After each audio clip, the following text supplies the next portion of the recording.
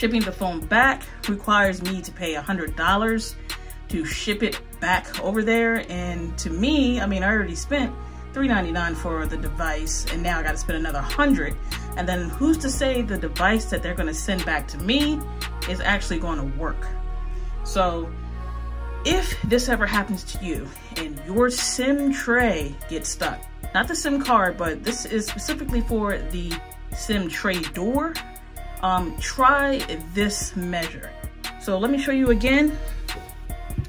Here's the uh, Redmi device. Very nice looking device, very fast device, but this door doesn't want to open. So here's a SIM ejector tool. I'll go ahead, try it again. And as you see, it does not open, doesn't move, doesn't budge. So what you're gonna wanna do is get some surgical tape go ahead and get it from like your CVS or your local pharmacy store. And go ahead and take like a small piece, rip that off. then what I do is I'm just gonna stick it on the SIM tray door. And just rub it against the SIM tray door.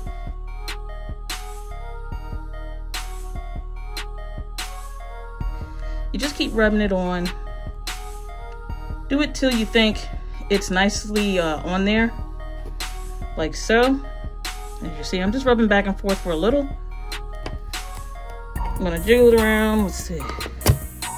And you see? And I can pull it out. So that's just using a little bit of surgical tape and you, just wanna make sure that uh, it's securely or it's really on there and then you just kind of pull up quick. So that is how I got the SIM tray out. But this is just to let you know if your SIM tray does get stuck in your device, like mine did, you may be able to get it out using surgical tape. All right, thanks guys.